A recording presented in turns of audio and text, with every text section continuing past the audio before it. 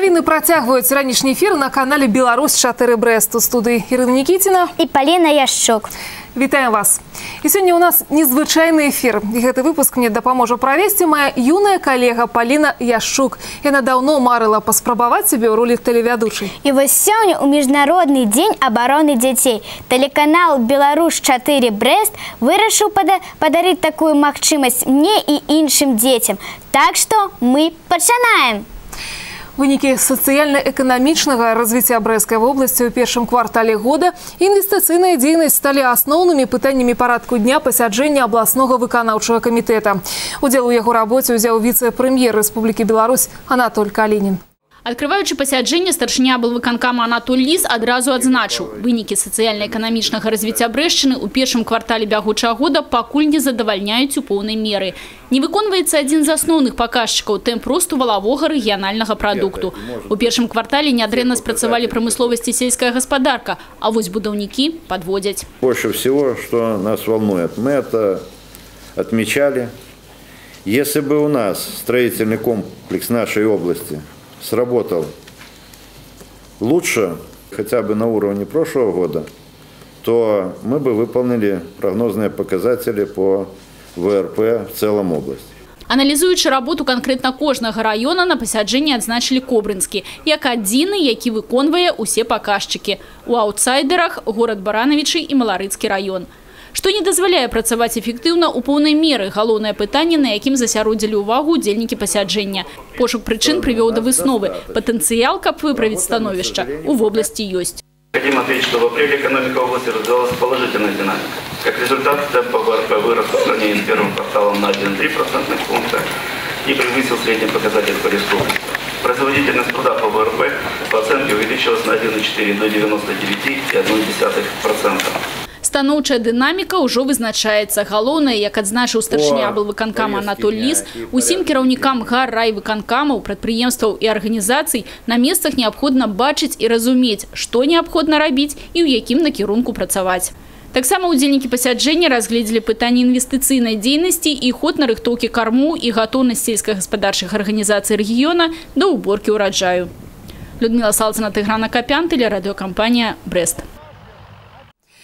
Адзін дзень у партызанскім атрадзе прапанавалі правесці наведвальнікам мемарыяльнага комплексу партызанскай славы Хаваншчына, што ў Івацавіцкім раёне. Тацяна Болтусь таксама пабывала там. 1942 год. Фашисты вядуць на расстрэл жыхароў вёскі Зацішша. Чарговыя зверствы з-за сувязі мясцовых жыхароў з партызанамі. Вось-вось прагучаць стрэлы, але гэты бой на сябе прымае звычайны разведчык. Хутка ўжо з'явяцца і партызаны. Зразумела ж, сілы праціўніка значна пераўзыходзілі, але людзей выратавалі. На жаль, вёска так і сыдзе ў нябыт. Мы просто попадаем в машину времени. Как будто бы переносимся. Не, вид, не видишь ни зрителя, ни машин современных, ничего это не было. Вот есть конкретно вот. Задача поставленная, бежишь и ну, каждый раз сердечко стучит и играет. Не было спокою и у партизанским шпитале, не хапало ни медикаментов, ни перевязочного материала. Повседневная работа – это тоже часть большой войны. И каждый, кто делал самое маленькое дело, самую маленькую работу, он все равно приближал эту большую победу. Неподалеку командиры распрацоўваюць план боевой операции. Сувязист спрабуе перадать на вялікую землю важную информацию. Партизаны рыхтуются до боя. Тут же люди с 2016-го быццам две реальности сутыкнуліся. Тая военная паўстала перед вачыма Ивана Тарасевича. У пинским партизанским злучэнні воевал два годы. Приятно, что очень много молодежи. За молодежью будущее. И надо, ну, чтобы не забывали, чтобы помнили историю. Першы партызанскі атрад тут на Івацэвіцкай зямлі з'явіўся ўжо на 112 дзень вайны, калі народ стыхійна узняўся на барацьбу з карнікамі.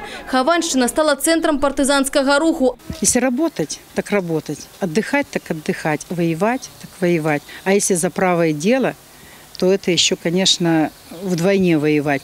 Меморіальны комплекс партызанскай славы Хаваншчына з'явіўся на тэрыторыі жытлінскіх лясоў 45 гадоў таму. Тое, што зрабіў савецкі народ, не перадаш словам подзвіг. Гэтага мала. Людзі здзейснілі сапраўдны цуд усёй краінай. Яны зрабілі неверагоднае.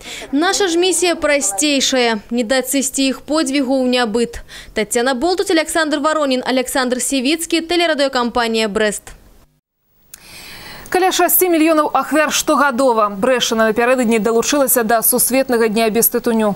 Па даных сацыялагічнага даследавання у вобласці курыць амаль 28% насельніцтва ва ўзросце ад 16 гадоў. Перад рэгіёнам стаіць сур'ёзная задача знізіць узровень ужывання тытуню у тры разы. Змяніць сумную статыстыку можа кожны. Трэба толькі адмовіцца ад згубнай звычкі. Агітацыю па барацьбе з тытунём спецыялісты цэнтра гігіены і эпідэміялогіі разгарнулі на цэнтральным чыгуначным вакзале. Дарэчы, ён знаходзіцца ў пераліку месцаў, дзе забаронена курэнне.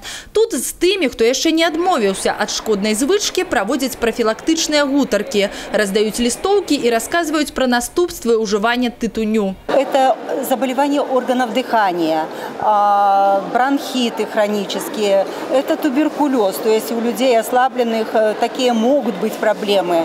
Это проблема рождения полноценных детей. Страдает репродуктивная система, как у женщин, так и у мужчин. У зале чакання з людзьмі працуюць псіхолагі. Прайшоўшы тэст, чалавек можа даведацца, да якога тыпу курыльшчыка ён адносіцца. Для адных гэта проста забава, для іншых ужо неабходнасць.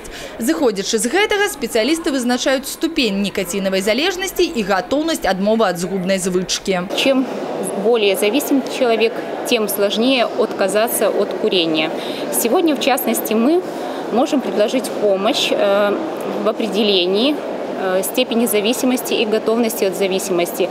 А в дальнейшем предлагаем э, консультации в нашем отделе общественного здоровья, чтобы помочь людям отказаться от такой вредной привычки. Штогод у рэспубліцы ад тытунёвай залежнасці гіне каля 15 з паловай тысяч чалавек. Спецыялісты лічаць, што барацьба з курэннем у першую чаргу павінна закрануць моладзь, бо лягчэй не пачынаць, чым потым кідаць. Я никогда не курил, считаю, это не имеет смысла. Как бы лучше сходить на стадион, позаниматься спортом, чем выкурить лишнюю сигарету. Ганна Галёта, Сергей Мацевичук, телерадиокомпания «Брест». А цяпер вяртаемся да дзіцячых мар і жаданняў, якія разам з вами паважаныя тэлегледачы сёння здзяйсняе тэлеканал Беларусь 4 Брест. Ад сэрца да сэрца. Так называецца дабрачынны тэлемарафон у падтрымку дзяцінства. І ўзяць удзел у ім можа кожны, хто разам з намі упэўнены. Чужых дзяцей не бывае.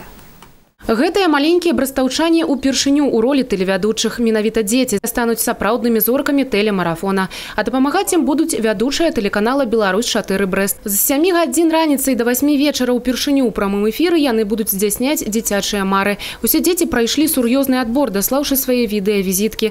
Яны выдатна трымаюцца ў кадры і нароўні з дарослымі калегамі імкнуцца стварыць добры настрой телеглядачам. Мне сегодня очень понравилось.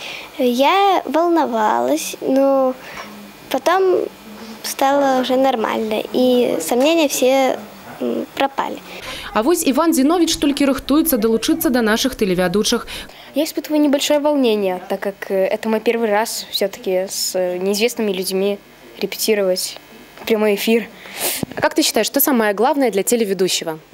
Э, уметь шутить э, и не теряться. Телеведущие Катерина Страха и Игорь Пашечка абяцаюць у складаны момент абавязкова прыйдуць на дапамогу дебютантам. Огромное количество эмоций, все детки живые, интересные, яркие, харизматичные. Ведь не зря из такого огромного количества претендентов мы выбрали именно лучших. этих деток. Мы выбрали лучших из лучших. Мы становимся старше, у нас появляются какие-то, возможно, штампы, а когда дети приходят в студию, они абсолютно открыты, они где-то в волнуются, они где-то ведут себя так, как хотят, и поэтому мы от них учимся и получаем вот эти заряды.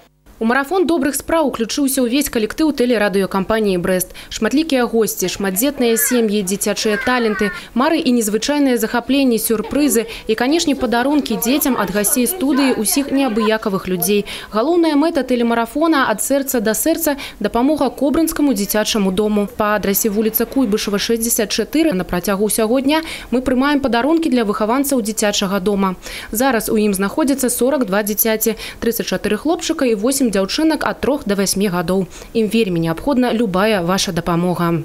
Для благоустройства жизни наших деток, для создания условий их жизни. Это и краска, это, возможно, финансы на приобретение э, какого-то э, игрового, выносного оборудования, летний период. Необходима детская обувь, необходимы памперсы, игрушки, канцтовары. Это вот основное, наверное, то, в чем мы нуждаемся. Можна таксама пералічыць грашовыя сродкі на дабрачынны рахунак. Яго нумар вы бачыце на экране. Такім чынам, дарагія тэлегледачы, у вас ёсць магчымасць дапамагчы дзецям кобрынскага дзіцячага дома і зрабіць для іх свята запамінальным. 1 чэрвеня давайте збярэмся разам на канале Беларусь 4 Брест і сагрэем клопатам выхаванцаў кобрынскага дома дзіцяці, таму што чужых дзяцей не бывае. Міраслава Манькоўская, Сергей Мацвічук, тэлерадыёкампанія Брест. І такім чынам мы з палінай запрашаем усіх далучацца да добрых спраў разам з каналам Беларусь 4 Брест.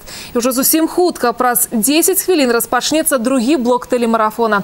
Дзякуй паліна за дапамогу. Дзякуй і вам. Не пераключайцеся. Да сустрэч.